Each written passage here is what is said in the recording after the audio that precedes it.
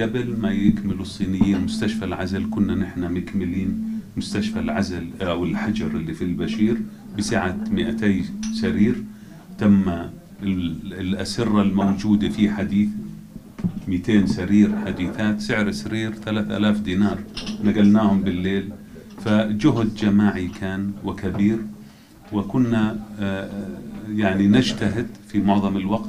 لأنه لم تكن هناك بروتوكولات عالمية لمجابهة هذا المرض فاعتبرناه وباء وبدأنا التنسيق على أعلى المستويات والاجتماعات لمجلس إدارة الأزمات تتم يوميا لتنفيذ القرارات ومتابعتها وجمع المعلومات وتنسيقها واللجنة الوطنية للأوبئة مشارك فيها عن وزارة التربية والتعليم وزارة الإعلام الخارجية والنقل والصناعة والتجارة والعمل والسياحة موجودين معنا جزء في لجنة الأوبئة الوطنية وكان لابد من البدء ببناء المنظومة ال- للعمل بحيث يكون في تنسيق كامل.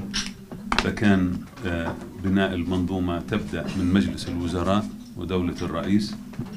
ويليها وزير الصحة كمنفذ للسياسة الكاملة ثم لدينا كان ذراعين. الذراع الأول هو مجلس آه، إدارة الأزمات وهو ذراع تنفيذي لتنفيذ الخطط ويطلب منه آه، تنفيذ القرارات واللجنة الذراع الآخر اللجنة الوطنية للأوبئة وهي الذراع العلمي وواضع السياسات العالمية ونستقي المعلومات من جميع مصادرها وبدأنا بالتنسيق مع الجميع وأدركنا منذ البداية بأن آه، المعركة ستكون معركة حكومة وشعب معا. فبدأنا يعني ننطلق على الجانب الإعلامي والجانب العلمي معا.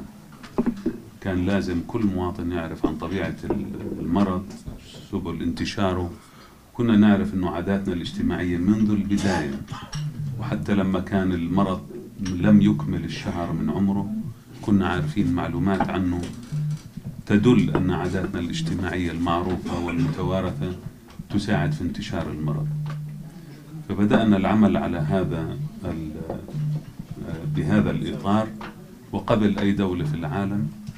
وأريد هنا أن أشكر جميع كوادر وزارة الصحة اللي لهم أكثر من شهرين على المعابر والحدود وبدأنا بورشة عمل.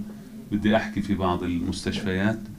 لهم ثمان أيام ثلاث شفتات بيشتغلوا ببنوا يعني ببنوا شغلات حديثة بحيث أن نواجه المتطلبات.